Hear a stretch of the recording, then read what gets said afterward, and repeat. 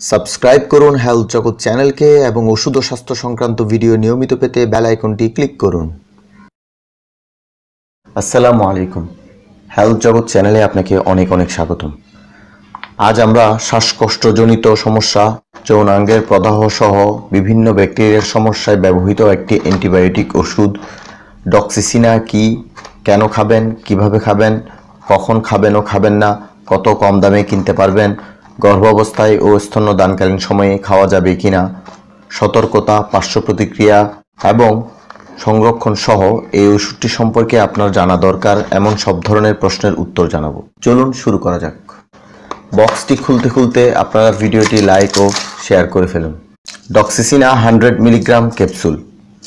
এটি Ibn Sina pharmaceuticals limited কোম্পানির একটি প্রোডাক্ট।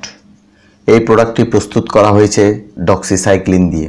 ডক্সিসাইক্লিন বাংলাদেশে বহুল পরিচিত একটি অ্যান্টিবায়োটিক, যা মূলত ব্যাকটেরিয়াজনিত ইনফেকশনে কাজ করে থাকে। এই ওষুধটি নিউমোনিয়া, ব্রঙ্কাইটিস ও শ্বাসতন্ত্রের বিভিন্ন অংশের সংক্রমণে ব্যবহৃত হয়। এছাড়াও চোখের ইনফেকশন, ত্বকের সংক্রমণ, যৌনাঙ্গের সংক্রমণ, মূত্রথলির সংক্রমণ, মধ্যম ও জটিল ব্রণের চিকিৎসা, ম্যালেরিয়া, ভ্রমণকারীদের ডায়রিয়া সহ বিভিন্ন ব্যাকটেরিয়া সংক্রমণে এই ওষুধটি ব্যবহৃত হয়। এই ওষুধটি চিকিৎসকের পরামর্শ অনুযায়ী একটি ক্যাপসুল দৈনিক একবার, দুইবার করে খেতে হয়। খালি পেটে ও ভরা পেটে খাওয়ার ক্ষেত্রেও চিকিৎসকের পরামর্শ অনুযায়ী খেতে হবে। বারো বছরের নিচের শিশুদের ক্ষেত্রে এই ওষুধটি প্রযোজ্য নয়। এটি অ্যান্টিবায়োটিক ওষুধ হওয়ায় ভালো লাগলেই ওষুধ বন্ধ করা যাবে না। ফুল কোর্স সম্পন্ন করতে হবে। অন্যথায় এই অ্যান্টিবায়োটিক পরবর্তীতে আর কাজ করবে না, অর্থাৎ রেজিস্ট্যান্স হয়ে যাবে। ডক্সিসাইক্লিন ও ট্যাট্রাসাইক্লিনের প্রতি অতি সংবেদনশীল রোগীদের ক্ষেত্রে এই ওষুধটি ব্যবহার করা যাবে না। গর্ভাবস্থায় এই ওষুধটি নিরাপদ নয়। স্তন্যদানকালে ডাক্তার যদি এই ওষুধটি নিরাপদ মনে করেন, তখন ব্যবহার করা যেতে পারে। ডক্সিসাইক্লিন সাধারণত শরীরে সহনীয়। তারপরও সাধারণ কিছু প্রতিক্রিয়া যেমন স্কিন র্যাশ, বমি বমি ভাব ক্ষুদামন্দা এবং পাতলা পায়খানা সহ ইত্যাদি পার্শ্ব প্রতিক্রিয়া দেখা দিতে পারে। এই ওষুধটির বক্সের দশ পাতায় দশটি করে মোট একশোটি ক্যাপসুল রয়েছে।